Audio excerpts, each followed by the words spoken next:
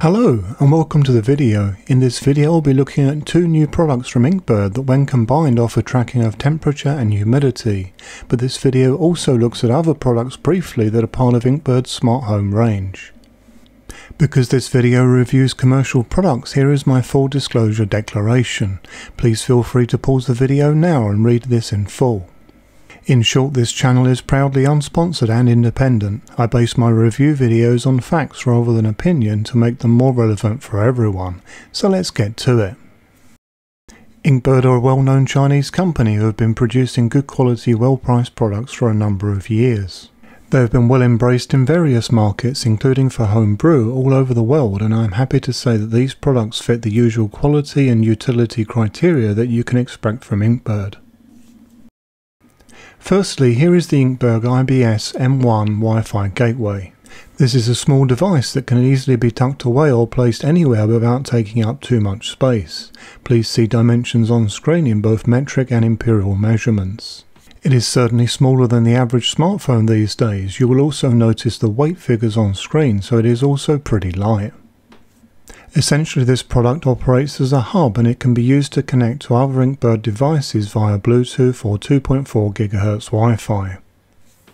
Shown on screen now are some but not all of the compatible devices for Inkbird. You can actually have up to four devices connected to the M1 at any one time. You can see that there is a large range of different products here that all offer sensors. On the bottom line you will see a floating temperature sensor as well as a readout version for the home. The products on the top line are temperature and humidity sensors and the one that I tested with the Smart Hub is on the far left, the TH1 Plus. More on this shortly. Shown on the left of the screen is an image from Inkbird's Pro app that provides a handy smart connection to data tracking and monitoring. This is available for both Apple and Android devices. Setup of the hub and sensor was very fast and easy using the smartphone app. In fact, you can see it going on here in real time in the background. Shown on screen is a video example of me pairing to the M1 to set it up in the app. This took just over 11 seconds. You can now see that the M1 is set up in the app and next to my 308 Wi-Fi temp controller. I found adding the sensor to be a very similar experience as well, so let's look into this sensor next. The TH1 Plus is a temperature and humidity sensor that works via Bluetooth. It comes with a nice long temperature probe and cable. See the bottom of the screen for sizing and weights in both metric and imperial.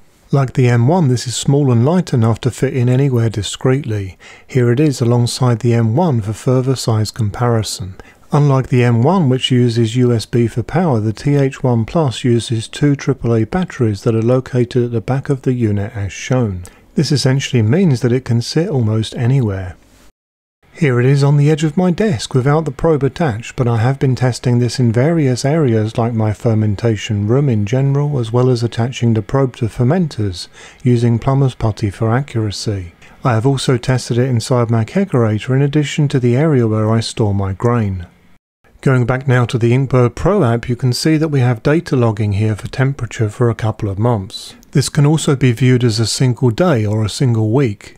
There is also the same data logging available for humidity as shown here. The data logging functionality of the product is certainly going to be useful for people for various homebrew reasons, but due to having temperature and humidity, this also opens it up for other things like salami and cheese making, mushroom growing, aquatics and so on.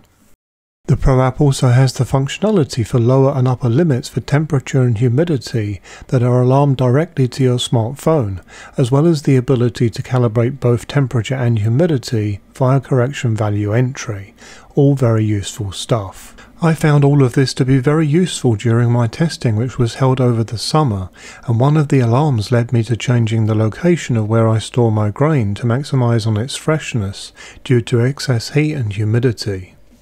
With the more extreme winters and summers that many countries are experiencing these days, tools like this can certainly be very useful for keeping a watchful eye for you with things like grain storage and fermentation temperatures. I was unable to test the accuracy of the humidity out of the box, but I was able to check temperature and this device was accurate straight away with no calibration needed. Like with all of the Inkbird items that I have tested to date, these are very well priced with good quality and I have no reservations in recommending them. To join this YouTube channel's Facebook group, please use the link shown on screen now.